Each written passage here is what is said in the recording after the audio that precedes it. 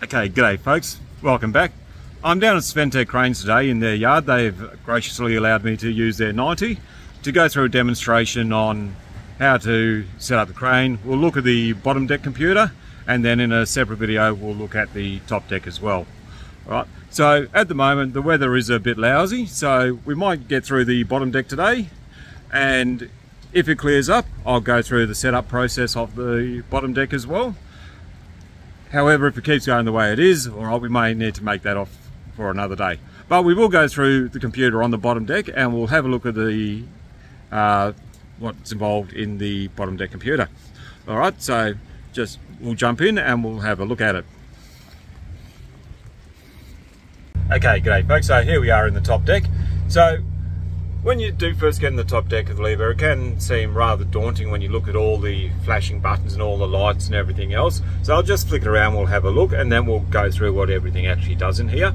And once you get an understanding of it, it is actually quite easy to understand. All right, so we'll, all right. So I'll just do a quick run over so you can have a quick idea of what it actually looks like.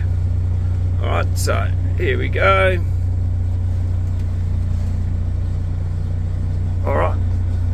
As you can see, there's a lot of buttons and when people first look at it, they think you need a pilot's license to drive it. But it's not quite that difficult. It is quite simple once you get and understand what each thing does. And the good thing about Liebherr is across the board, the bottom decks are pretty much identical. Sometimes they may have an extra button here or there, um, but they'd be specific for certain cranes. So, but across the board, they're pretty much identical in what they do. All right, so remember this is an older model and we will look at a newer model um, in the next couple of weeks. All right, so I'll flip it back over and we'll go. We'll start from the left-hand side and we'll work our way around the bottom deck to see exactly what we do. All right, so all right, so starting over here. All right, so basically same as your car. All right, you got your indicators up and left and right. All right, you got your wipers, which would come in handy today if you were driving on the road and you got your horn on the end here. All right high beam there. All right coming up to the dash. All right over here. Okay we've got our fuel level. We've got our temperature. We've got our oil. We've got our battery. All right. Over this side the three airs so your airs got to be um, full before you can travel anywhere. If these red lights are on, then it's not going to allow you to do too much at all. All right. Then you've got your AdBlue, etc. beside it. All right. Coming around. All right. Now over here, this left stalk here does a few things. So you've got different levels of an engine retarder. So as you're coming up to a hill, if it's only a slight hill, to save your brakes, you might just engage your retarder. If it's a bit steeper, push it down a bit further. Now, on some of the older models, if the retarder is still active, it's not going to allow you to get any accelerator. So a lot of times, a lot of times, someone will jump in, they'll go to drive off and they'll think there's something wrong with it. Um, usually the first thing to do, just check that retarder is all the way off. This tapping backwards and forwards, what that does is that will allow you to change your gears manually if you've got it in a manual mode as well. So that'll just let you change the gears there as well. All right. Then you got your speedo. All right, got your kilometers and oh, got your kilometers and down there. All right. Now we look at the cockpit. This is a bit that confuses everyone. All right. All right. So we start at the top here. All right. So we've got our reverse, neutral, and drive. So if you've got your foot on the brake, all right, if you press drive, all right, release the handbrake and away you go. Okay, we just pop that back into neutral. All right, now down here is so you can change gears manually if you need to.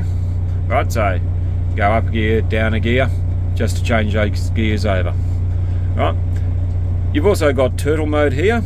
So if I'm going to move the crane on site, I've still got my counterweights on. All right, I typically have it in turtle mode and I can change gears manually, either there, or I could also change them here as well. Okay, as we go down, all right, so we've got P1 here, all right, so what that does is that'll change the brightness of your screen. All right, so depending how you like it set, all right, that'll adjust the brightness for you. Okay, now, when you see these ones along here with this line, anything connected along this line here, this little hand needs to be uh, activated to operate any of these buttons here. All right, so you've got your suspension up on the front and then up on the rear, down on the front, down on the rear. All right. This one here puts you into travel mode. This one is your suspension lock. Okay.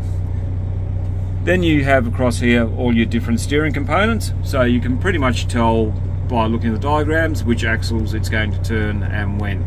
Now, I don't typically use them a lot, but if I am going to be mobiling around a really tight area I might go into two and it just gives you that bit more swing on the back end of the crane to get around tighter corners all right and you've also got crab steering here which is great if you do need to move sideways in there that little bit.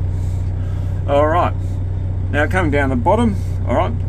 So this one is if you want to manually adjust your rear um, axles. All right. You can activate that one and use these two buttons to do it manually left or right. Okay. So keeping in mind you do need that on. So at the moment the crane's lowered and the suspension is locked all right. So if I was to put that into road travel all right first thing you need to do is unlock it. So you'll press the little hand there and hit that. The light will go out. And then you can hit this green one here. All right. And you wait until everything stops flashing. Or well everything starts flashing. And you'll know that it's all set for traveling on the road. Alright so alright. You see they're all flashing so that's all good to go. Keep in mind this um, suspension lock if you're traveling on the road that's got to be turned off.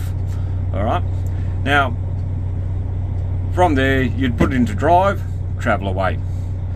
If when you rock up to site the first thing you need to do is to drop your suspension and then lock your axles out. All right so back on there. All right so try and do this. So you can see it so I've got, got my one finger on the hand right? Then I can come down on the front. Then I can come down on the rear. Alright, once they're both down, right, we up, hit that suspension lock button and there we go. Now it's all ready to get set up underneath. Alright, now down to the bottom half here, alright, then we've got our different heater and air conditioning controls there. Got our lights over here. So you've got your hazard lights got your beacons got your fog lights got your park lights and got your headlights. So your headlights are your main ones you need to use there. Right and when you're traveling on the road you need to have that flashing beacon on as well all right so and down the bottom here are heated mirrors so cold days in Melbourne comes in very handy to heat your mirrors up as well all right so we'll keep moving around all right down here we have our handbrake. All right, so don't forget to release that before you start driving. Okay, then we have our ignition key. Now this one here is for changing the power from the bottom cab to the top cab before you get in there. So turn the key off, flip that over, and that'll allow you to operate the top cab. But before you do that, what you do need to do is to set up the outriggers. So to set up to set up the up here we go. So to set up the outriggers, it still needs to be set on the bottom deck because they're obviously on the bottom half. All right, so before you get out, make sure that's still on the bottom deck. Leave the engine running, you jump out, and you can then start operating the outriggers. Right, once the outriggers are out, then you'd come back in here, turn the key off, flip the switch over to the top cab, and then climb in the top cab and get fired away with that one. All right, so that's just a quick basic rundown on the lower deck of a Liebherr. Now they are pretty much all the same. So whenever you jump in one, they're going to look pretty much exactly the same. Newer ones may have a couple of new buttons, uh, new ones with the Bluetooth controller that's built into the dash. And when we do get onto a newer crane, we'll have a look at that and we'll go through that as well. All right. So I hope you get something out of that. It's still actually pouring down outside there, so I'll go through the actual setup of it at a later stage as well. All right, but that's the bottom deck covered, and hope that helps. And I'd just like to say thanks again to Paula Sventech for allowing me down here to have a go through this crane. All right, thank you, and I'll see you again in the next video. Bye.